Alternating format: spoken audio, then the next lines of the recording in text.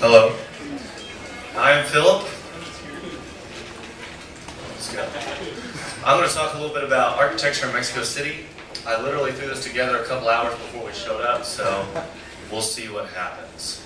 Um, Mexico City was created to be the center of wealth, economics, industry, everything of Mexico. Because of that, poverty, pollution, um, density, traffic, everything increased.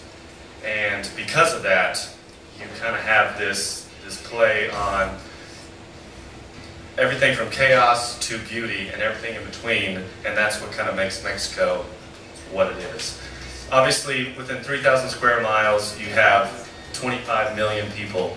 From that, you, you, if people move in, you have to have somewhere to put them.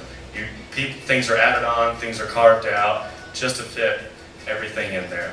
Kind of this, this density creates necessity from all these people moving in.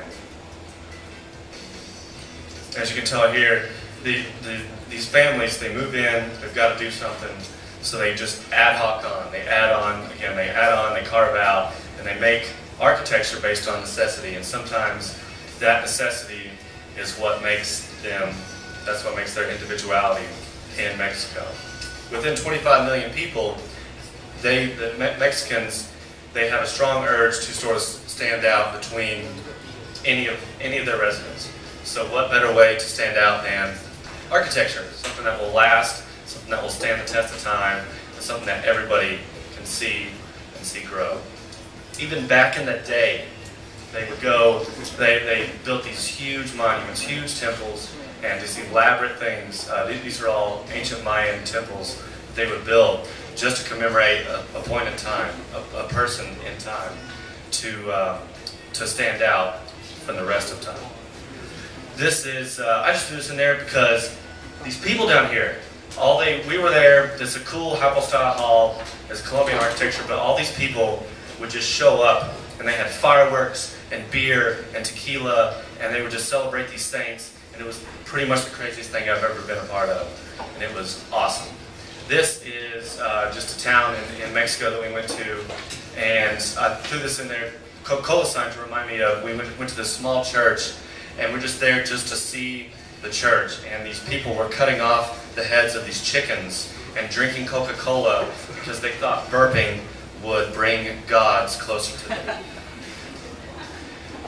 It, again, in Mexico, you have all these people. You have to distinguish yourself. How do you distinguish distinguish yourself between 25 million people in the city, over 100 million people all throughout the country? Looks like Italy right there. You can do it several ways. You can do address numbers. I walked around for weeks upon weeks and took pictures of random address numbers and could not find one single one that was similar to another one. I thought that was pretty dadgum cool. this is long. You can go color. Everywhere you walk, it's just every color of the rainbow. And it's no matter what town you went in, you could not pass it up. And I'm pretty sure that was the house I saw some guy spearfish for like three hours and he didn't catch one fish. it was kind of sad.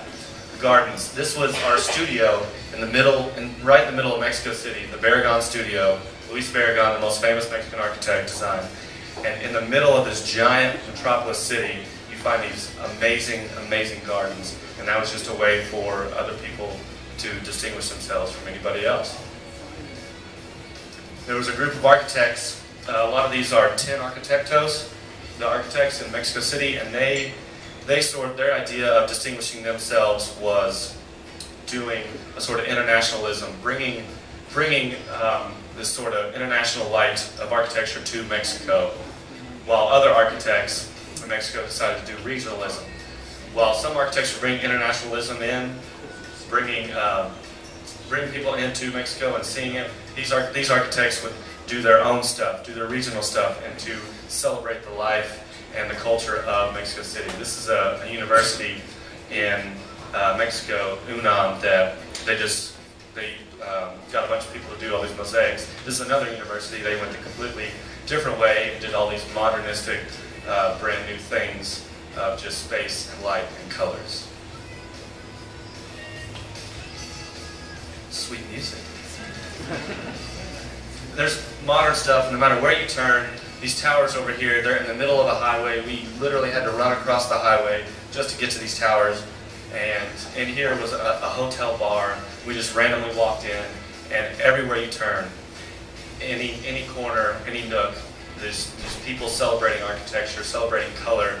This is Luis Barragan, and he was the most, he was the god of the gods of, of uh, Mexican architecture. And he used color and he used light to sort of portray his emotion and sort of sort of make these intimate spaces based on these public spaces that were in architecture in Mexico.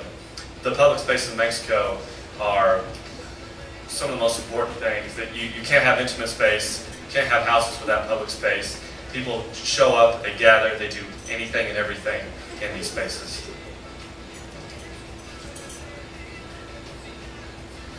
And the people of Mexico, absolutely amazing. We we lived in Mexico for three months. We hung out with our professors who would obviously pour us drinks. We hung out with uh, other Mexican students who would also pour us drinks. And it was incredible. The people there are, are incredible. They, they, they love architecture. They love Mexico City. And three important lessons. One, don't take a horse into the middle of the desert. Two, if you have a mosquito net around your bed, be very wary. And three, you take a taxi, always make sure there's a number on the side. And important. Thank you.